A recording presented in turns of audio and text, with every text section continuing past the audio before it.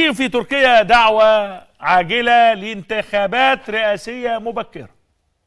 انتخابات رئاسية مبكرة انتخابات طبيعية في 2023 وانتوا فاكرين إن أردوغان كان فيما مضى بيرى انه الانتخابات المبكرة قد تكون حل لمحاولة التخلص من خصومه أو من منافسيه عندما تكون حكومته على المحك فعلها مرارا من قبل.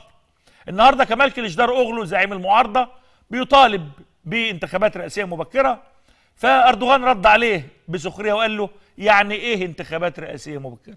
أنا مش فاهم يعني إيه انتخابات رئاسية مبكرة. بيستظرف طبعا أردوغان وسخرية الإخوان المعهودة والمعروفة والتنطع الشديد بأسلوبهم عندما يكونوا في السلطة.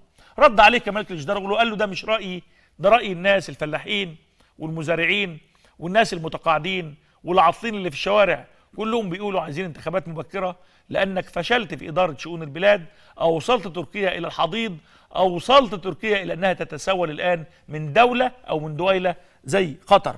بيتكلم بيقول إنه هذا مطلب ومطلب حق.